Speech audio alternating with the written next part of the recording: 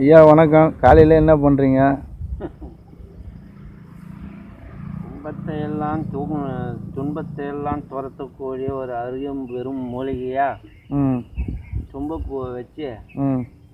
இன்னைக்கு வந்து நோம்பு எடுக்க போகிறாங்க நோம்பா? நோம்புனா என்னங்க ஐயா? என்ன பண்ணுறது வருஷத்துக்கு ஒரு முறை குலதெய்வத்தை வணங்கத்தான். ம். எல்லாம் மறந்து போயிருப்பாங்க. வருஷத்தில் ஒரு நாள் மட்டும் ஞாபகப்படுத்தி ஏதாவது க வீட்டில் இருக்கிற பழம் இனிப்பு ம். எதாவது ஒன்றை எடுத்து சாமிக்கு முன்னாடி வச்சு போனவங்க வந்தவங்க இருந்தவங்க எல்லாரையும் கூப்பிட்டு எங்கள் வீட்டில் செஞ்சு வச்சுக்கிறோம் வாங்கன்னு கூப்பிட்டு சாப்பிட வச்சு இவங்களே சாப்பிட்ருவாங்க. அப்படியா? என்னங்க எப்படி சொல்லிட்டீங்க? வேற எப்படி சொல்ல சொல்கிற அதுக்கு எதுக்கு ஐயா தும்பப்பூ? காரணம்?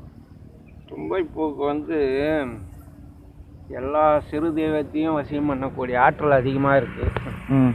அதனால் தும்பப்பூவை பயன்படுத்துகிறாங்க ம். அடுத்தது எல்லா விதமான சக்தியும் கூட்டக்கூடிய பவர் இருக்கிறதால ம். வீட்டில் வந்து தெய்வீக சக்தி இருக்கும். ஆன்மாக்கள் இறந்த ஆன்மாக்கள் இருக்கும். ம். எல்லாரையும் கூப்பிட்டு வரவேற்பு நிகழ்ச்சி. எல்லாருக்கும் படையல் போட்டு எல்லாரும் வந்து மனப்பூர்வமாக சாப்பிட்டு போங்க ம். அப்படின்னு சொல்லணும். ம்.